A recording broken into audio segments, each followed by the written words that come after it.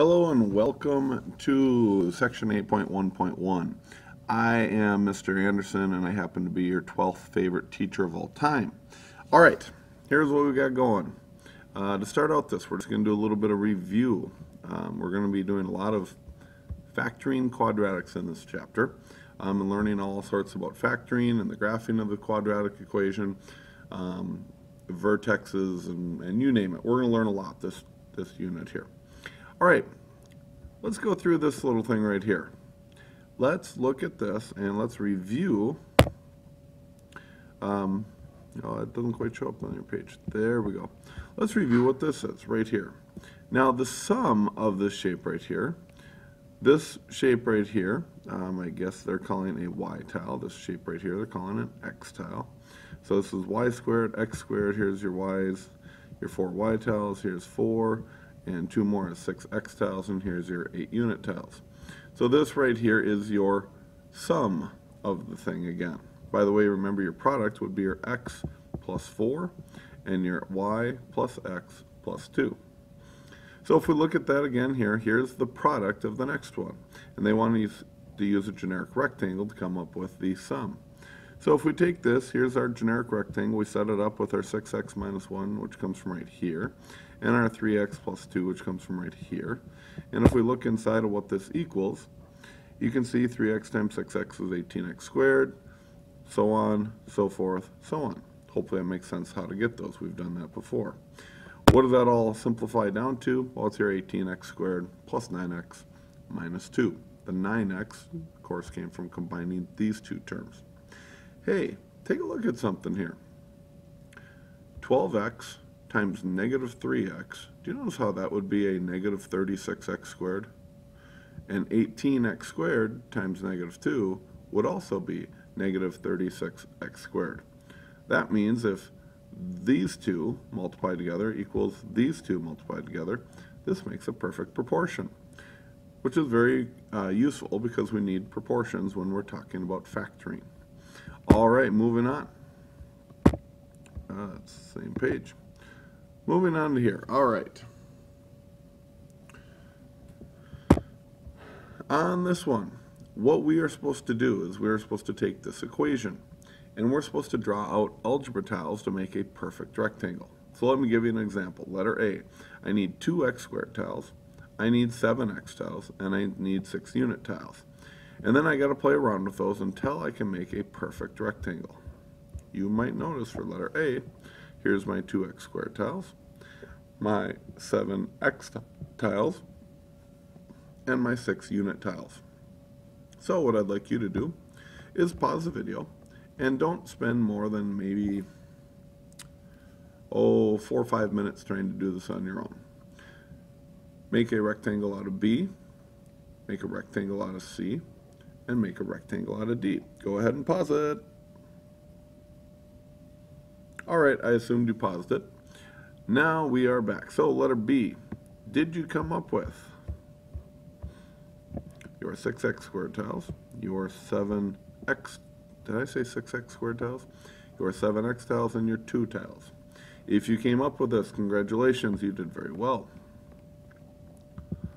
Letter C, how do we do? What does your rectangle look like? If you got a rectangle, you were doing something weird. Because C is not possible for building a perfect rectangle out of. And then letter D, ah, that's kind of a weird one. But, yes, it works.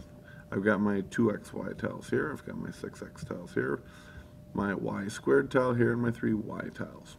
So hopefully that made sense how to do that. If not, you can always go back and review that and try and make your own. But I am moving on. Number three. All right, on this one, we need to take these generic rectangles and we need to come up with what the product is and what the sum is. Well, in my opinion, the sum is much easier. You know, you gotta, you've got this, you add those two like terms together and you get this one to get your sum. You've got this, this, this, and this. They're all different. They all come up to be the same. So as we put together our sums for these, there we go. This is what you should get for that. Make sure you take a look at that. Make sure you understand where those come from. okay? But now we need to put together the product. Well, how do you find the product?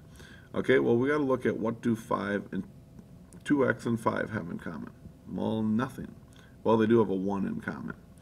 What does 6x squared and 15x have in common? Well, they both have a 3 in common, and they both have an x in common.